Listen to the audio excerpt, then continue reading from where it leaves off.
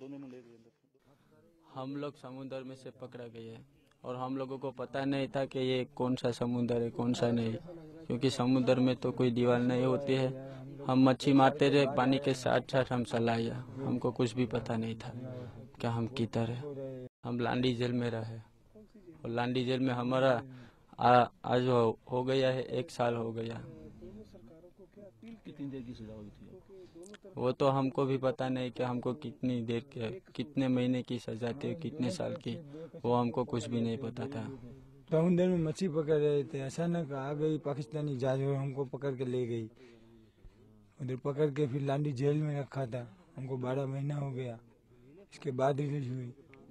तो आप जब बोर्ड काम करते हो बोर्ड कोई निशान नहीं आपकी बोर्ड भी ले लेते काम तो उससे तो क्या चाहना चाहिए? दोनों सरकारों को क्या होना चाहिए? दोनों सरकारों को हमारी बोट भी वापस दिलवानी चाहिए और दोनों सरकारों को करना चाहिए कि माहीगीर को पकड़ते हैं उसको जल्द से जल्द सुनवाए या तो फिर पकड़ने का काम ही बंद कर देना चाहिए।